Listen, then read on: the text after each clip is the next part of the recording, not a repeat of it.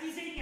Bentrovati con l'informazione di Napoli Village News in redazione Raffaele De Lucia. L'Accademia delle Belle Arti di Napoli, presieduta dal professor Sergio Sciarelli e diretta dalla professoressa Giovanna Cassese, ha presentato lo spettacolo teatrale Peter Pan a cura della Scuola di Didattica dell'Arte coordinata dalla professoressa Gabriella Spizzuoco con la collaborazione della Scuola di Scenografia del professor Angelo Lafera. La rappresentazione liberamente ispirata al romanzo Peter Pan e Wendy di James Matthew Barry è stata ospitata negli spazi spazi del Teatro dell'Accademia Antonio Niccolini e il risultato conclusivo dell'iniziativa La settimana dei piccoli in Accademia, che ha visto per due settimane a partire dallo scorso 25 giugno fino al 6 luglio la partecipazione di circa 40 bambini tra i 6 e i 10 anni impegnati a cimentarsi nelle vesti di registi, scenografi ed attori.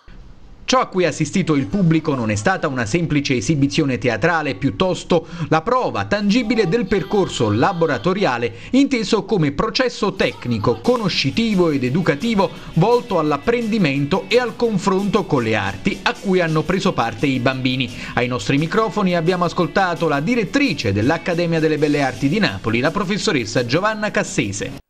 L'Accademia è un mondo magico anche per i bambini che scoprono d'estate come d'inverno quando apriamo alla città, un mondo per vedere anche lo spettacolo e le arti in maniera diversa. Peter Pan è stato un progetto sperimentale della scuola didattica dell'arte, la prima del meridione per la formazione degli addetti ai lavori e eh, possiamo dire che il nostro obiettivo è quello di formarli da piccoli all'amore per l'arte e per il contemporaneo. Questi bambini hanno avuto l'occasione di lavorare con i maestri, con i professori, professori, con gli studenti già diplomati, giovani artisti qui in Accademia per 15 giorni e di produrre interamente uno spettacolo, dalle scenografie ai costumi alla recitazione, un'occasione unica per avvicinarsi al mondo delle arti dello spettacolo, un'occasione per crescere in un mondo particolare come l'Accademia e un modo per i nostri studenti e per i nostri docenti di mettere in pratica quella che è una didattica sperimentale di alta formazione sui temi appunto della formazione e dell'educazione per il contemporaneo.